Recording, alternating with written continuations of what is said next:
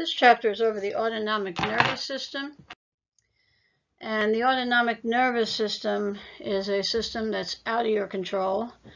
Um, it controls such things as glands of the body, cardiac muscle, and smooth muscle. Primary target organs are the organs that are located in the thoracic cavity and the abdominal cavity. Again, the autonomic nervous system is involuntary, and the effectors, the effectors are the cardiac muscle, glands, and smooth muscle. They do not depend on the autonomic nervous system to function, but they adjust their activity. So here's where we are with the nervous system. We started um, back in chapter 11 going over uh, nervous tissue.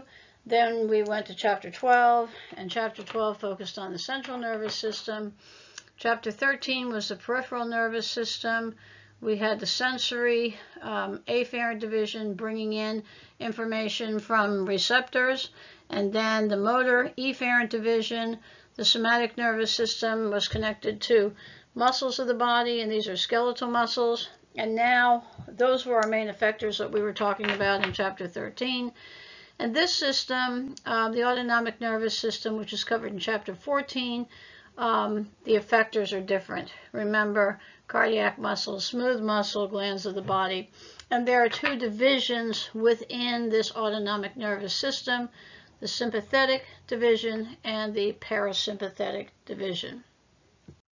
Now the sympathetic division, um, I like to call it the E system because E stands for excitement, emergency, exercise, embarrassment, anything that revs the body up for a um, situation where you have to increase alertness and prepare the body for an emergency. So what it does is increases alertness, increases heart rate, blood pressure, increases blood flow to uh, the pulmonary um, circulation to increase airflow, uh, blood glucose levels increase, and also increases blood flow to cardiac and skeletal muscles. So it reduces the blood flow to skin and GI tract. It's also called the fight or flight response, and the tone, sympathetic tone, is vasoconstriction. The parasympathetic division, resting and digesting system, I like to call that the D division. Now, resting doesn't start with a D, but digesting does, and so does diuresis, which means peeing, and defecation, which is pooping. So all the housekeeping chores of the body usually occur best when the parasympathetic division is at work. And the parasympathetic tone maintains smooth muscle tone, which is located in your hollow organs, the stomach, the small and large intestines, bladder, and lowers the heart rate. Now, one of the things you want to um, keep in mind about this system, remember when we talked about nervous system pathways, we said sensory information comes in, and that's the afferent pathway. Then you have the integration center in the central nervous system, and the efferent pathway is the motor pathway going out to effectors. Well, in the autonomic nervous system, instead of it being a one neuron, uh, one neuron in the pathway, there's two neurons in the chain. And when you have two neurons connected together, the first neuron is going to originate from the central nervous system, and then it's going to make a synapse with a second neuron that's outside the central nervous system. So where that presynaptic neuron attaches to the next neuron, that cell, those cell bodies of the postsynaptic neuron, they collect together, and a collection of nerve cell bodies outside the central nervous system is called a ganglion. So that's why they use this term preganglionic neuron. So the first neuron in the chain is called the preganglionic neuron, starts in the central nervous system, has a thin, lightly myelinated preganglionic axon. Then the postganglionic neuron in the autonomic ganglion is outside the central nervous system. It's non-myelinated, the axon, and it extends to whatever the effector organ is. So here's a picture. This kind of will make it a little bit easier for you to see.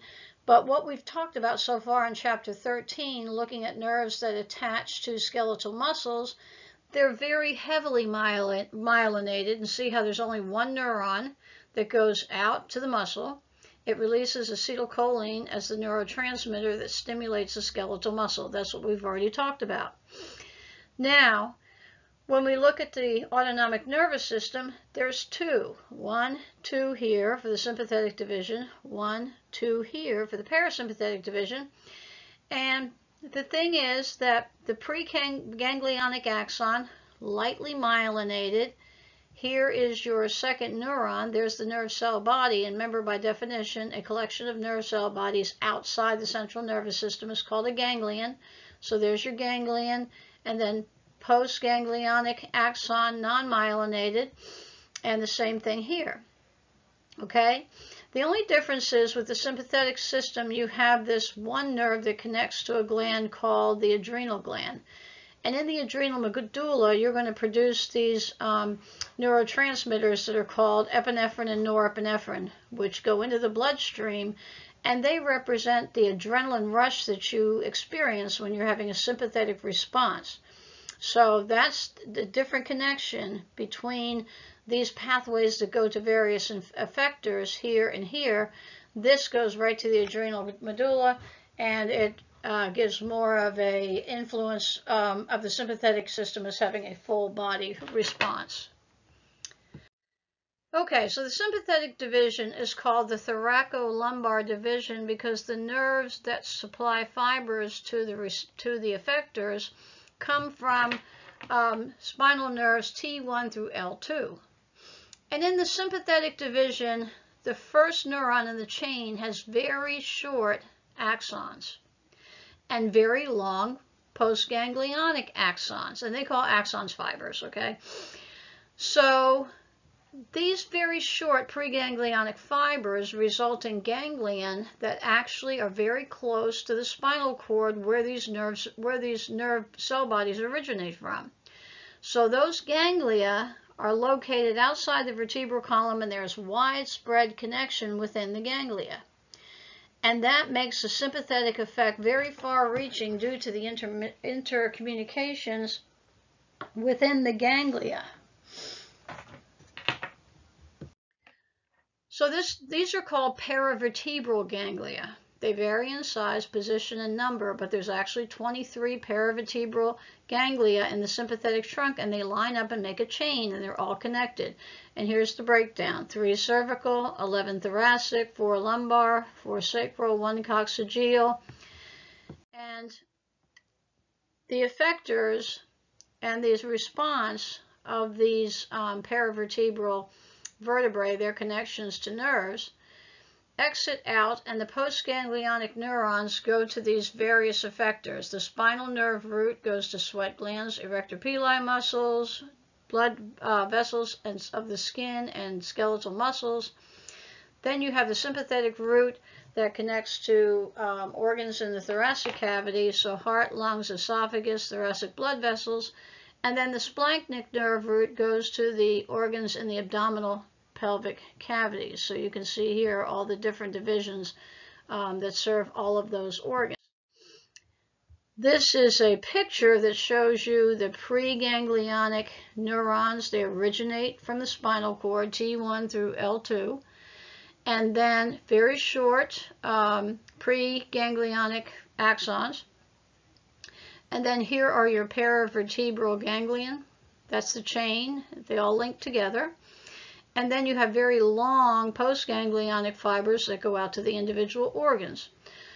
So if you look at page two of the notes, about a third of the way down the top of the page, um, I just want to go over this one section so that you can see why the sympathetic effect has a full body type of action, okay, its response. There is no simple one-to-one -one relationship between preganglionic and postganglionic neurons in the sympathetic division. Each postganglionic cell may receive synapses from multiple preganglionic cells. This is called neuronal convergence. Also, each preganglionic fiber branches and synapses with multiple postganglionic fibers, and that's called neuronal divergence. The sympathetic division has very far-reaching effects due to the divergence to different effectors. So it is like I said earlier, a full body response. Now the parasympathetic division is called the cranial sacral division because the nerves that supply the effectors come from the cranial nerves and some are sacral nerves. Now you'll notice a difference here. You have long preganglionic fibers from the brainstem and the sacrum, and they extend from the central nervous system almost to the target organ, and they synapse with postganglionic neurons in terminal ganglia close to, or they could actually be embedded within the target organs. And the fibers of the postganglionic um, neurons are very, very short, and those synapse with the effectors. So here's your cranial division of the parasympathetic response. Oculomotor nerve number three results in constriction of the pupil and rounding of the lens for better vision. That's the parasympathetic response. The glands of the body are stimulated um, by this particular branch. So facial nerve number seven stimulates secretions from salivary glands, tears, nasal glands.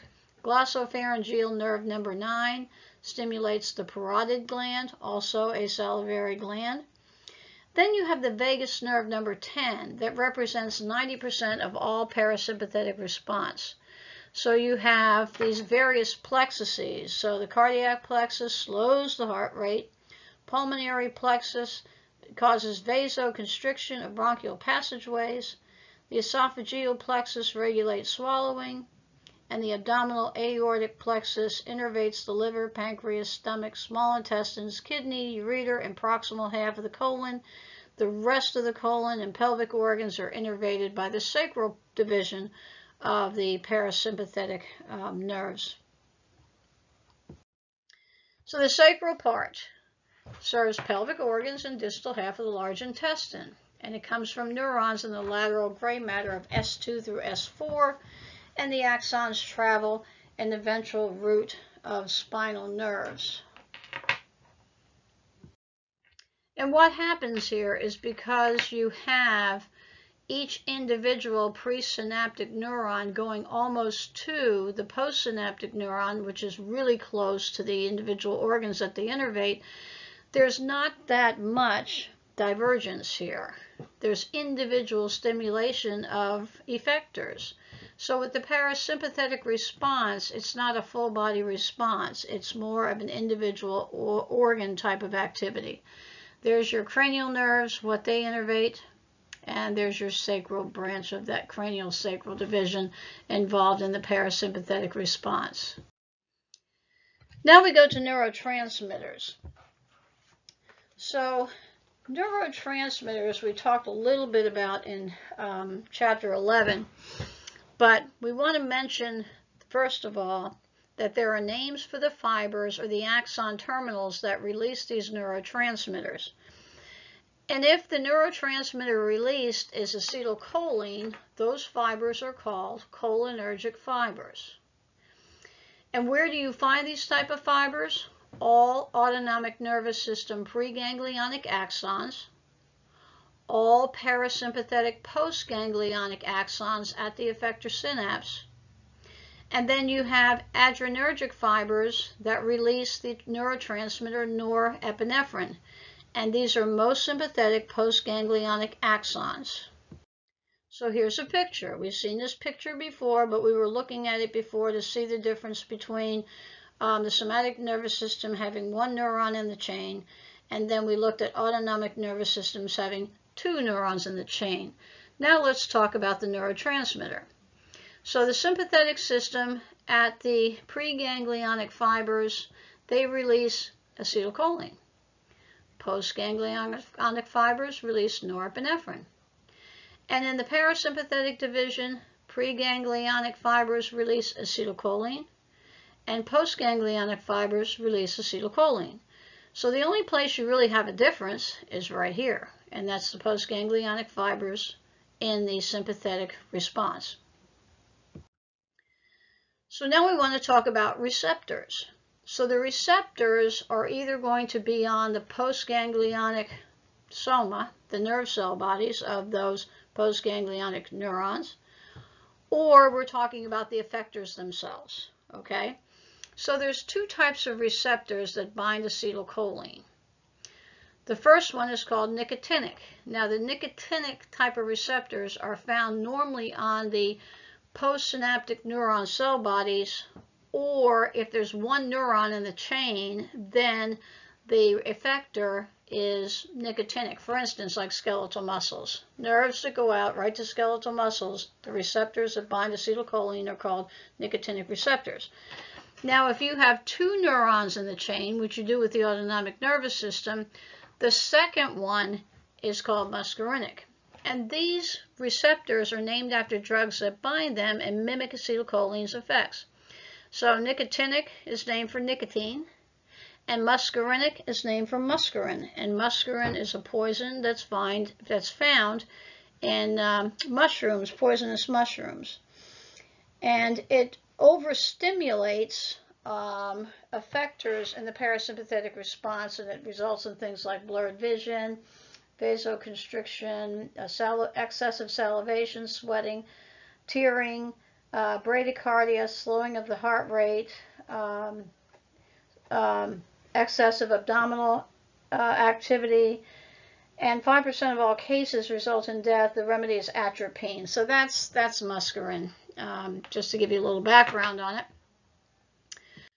So nicotinic receptors, we said earlier, they're found on the sarcolemma of skeletal muscle cells. We talked about that in chapter 9 at the neuromuscular junction all postganglionic neurons, sympathetic and parasympathetic, and hormone-producing cells of the adrenal medulla because that's another place where you have one neuron connecting to an effector. The effect of acetylcholine at nicotinic receptors is always stimulatory. It opens ion channels and depolarizes the postsynaptic cell. Muscarinic receptors are found on effector cells stimulated by postganglionic cholinergic fibers. Like I said, it's the second it's the second receptor in the pathway.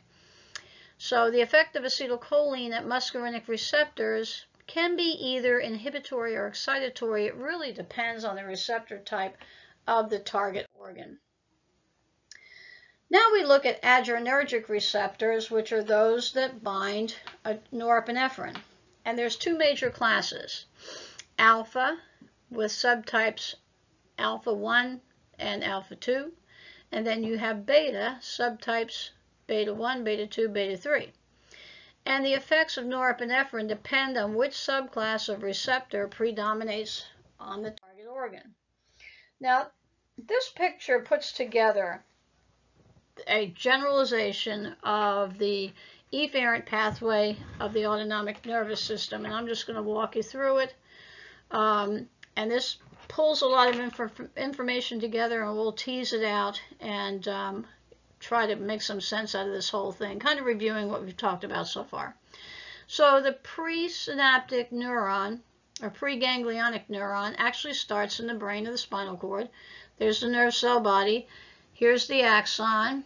So here's your preganglionic axon, lightly myelinated. It's in blue. And all of the fibers, no matter whether you're talking about um, sympathetic or parasympathetic, they're cholinergic fibers because they release acetylcholine. Now, the first receptor in the chain, or if it's just one nerve, like you find in the adrenal medulla attached to the adrenal medulla or to skeletal muscles, those are all nicotinic too. The receptors are cholinergic, they're nicotinic receptors, and they bind acetylcholine. Here's where your ganglion is because you have a collection of nerve cell bodies outside the central nervous system here. Now your postganglionic axon is unmyelinated and those fibers, depending upon whether they are coming from the parasympathetic division or the sympathetic, they're different. So if it's the parasympathetic, they're cholinergic fibers again because they're releasing acetylcholine. If it's the sympathetic system, the fibers are adrenergic because they release norepinephrine. Here's your effector, and remember your effectors are smooth muscle, cardiac muscle, or glands. So if this is the second neuron in the chain, then those receptors are called muscarinic receptors and they bind acetylcholine. If we're talking about the sympathetic system, then the adrenergic fibers release norepinephrine and their receptors are called adrenergic receptors and they are alpha or beta. So that kind of teases everything apart and reviews what we mentioned earlier about fibers and receptors. Here's a breakdown of your different types of receptors. So here's your cholinergic, um, and here's your nicotinic, all postganglionic neurons, adrenal medullary cells, also neuromuscular junctions and skeletal muscle, always excitatory, muscarinic, all parasympathetic target organs. Um, I'm not going to bother worrying about sweat glands, but excitation in most cases, inhibition of cardiac muscle. And then you get down here to adrenergic and you can see beta, beta, beta, alpha, alpha, and all the different effects of the adrenergic receptors. And a lot of times they develop medications and pharmaceutical products that are designed to hit one or more of these receptors to either reduce inflammation um, or oppose, like uh, use atropine to cause dilation of the eye when they're doing eye exams, things like that. So this is just a little bit of breakout. You can spend more time with that if you want to, just looking at the various receptors. So like I said, some of the drugs, atropine is an anticholinergic type of um, drug. It blocks muscarinic acetylcholine receptor, receptors used to prevent salivation during surgery and to dilate pupils for examination. Neostigmine inhibits acetylcholine esterase that breaks down acetylcholine used to treat myasthenia gravis, and we talked about that in chapter 9. Also, over-the-counter drugs for colds, allergies, and nasal congestion. Uh, they stimulate alpha adrenergic receptors, um, constricting blood vessels and reducing inflammation. Beta blockers are drugs that attach to beta 2 receptors to dilate lung bronchioles in asthmatics and other uses. Control of autonomic function. The hypothalamus is the main integrative center of autonomic system activity. Um, so the hypothalamus we spent a lot of time with when we were talking about the brain, but remember that it controls too um, the emotional brain, the limbic system. So stress activates the sympathetic response, which is going to cause the production of corticotropic releasing hormone from the hypothalamus, which in turn is going to cause the anterior, produce, anterior pituitary gland to produce ACTH, which is going to stimulate the adrenal medulla gland to produce norepinephrine and epinephrine. So the hypothalamus can regulate the stress response there. And then you have subconscious cerebral input by limbic system structures on hypothalamic centers um, the emotional response. And other controls come from the cerebral cortex, what you're consciously experiencing at the time. If you're going through an emotional time, that can have an effect. The reticular formation, which is the RAS, um, when you're alert and able to react to stimuli that are is going on around you. And um, spinal cord and reflexes. So homeostatic imbalances of the autonomic nervous system, hypertension, um, high blood pressure is an over, overactive sympathetic vasoconstriction response to stretch, stress. And you can treat this with adren, adrenergic receptor blocking drugs because in most cases, alpha receptors are stimulatory, beta receptors are inhibitory. And one of the things about the heart is that beta receptors are stimulatory in the heart and alpha receptors are inhibitory. And that's why people are prescribed beta blockers if they have an overactive stress response or the heart's working too hard due to some type of problem with those beta receptors being overstimulated. Um, Raynaud's disease is an exaggerated vasoconstriction in fingers and toes. Um, and circulation's cut off. In some cases, people have a mild expression of this. Some people it's more serious. Um, it can happen uh, activated by stress, activated by extreme cold, but whichever digits are affected, they become very pale. Um, they can turn kind of cyanotic, bluish, and, and it be, can be very painful, and usually treated with vasodilators.